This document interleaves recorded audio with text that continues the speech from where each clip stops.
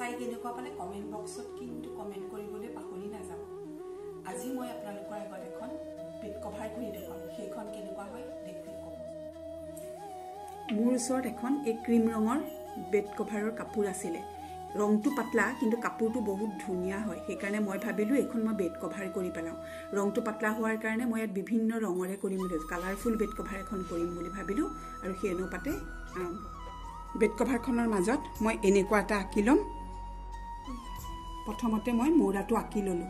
আঁকি লৈ এতিয়া গোটেই মৌৰাটোৰ বিভিন্ন অংশবিলাকত বেলেগ বেলেগ কালাৰৰ এনেকৈ এনেকৈ কৰি গৈ আছোঁ। ভৰ্তি চিলাই কৰিছোঁ গোটেই মৌৰাটোৰ এইখিনি।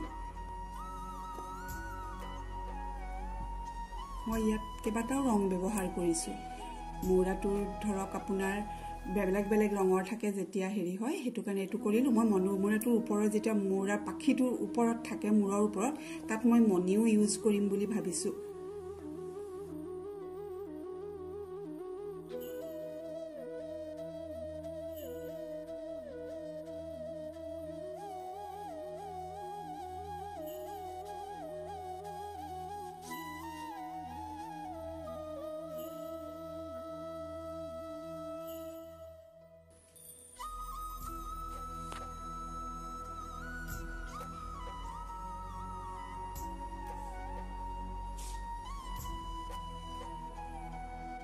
দেখিছে আপোনালোকে এইটো মৌৰাটো কৰা হ'ল। এইটো মৌৰাটোৰ ওপৰৰ যিটো মৌৰাৰ পাখি থাকে তাত মই এই মণিকেইটা লগাই দিছোঁ।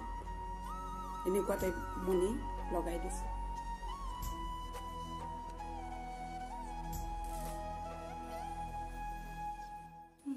বেড কভাৰখনৰ মাজত মই মৌৰা দুটা কৰিলোঁ কৰাৰ পিছত চুককেইটাত মই এই চৰা এইটো কৰিছোঁ। এইকেইটা চেইন চিলাই দি পেলাই ভৰ্তি কৰিম বিভিন্ন ৰং দিম আৰু বাকীখিনি ভৰ্তি চিলাই আৰু চেইন চিলাই কৰিম।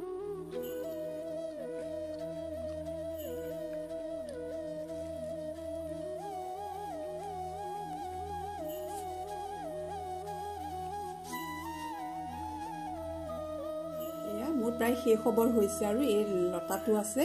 লতাটোৰ মই এইখিনি কৰি আছোঁ। এই পাতখিলা মই কম্বল ষ্টিচ কৰিম।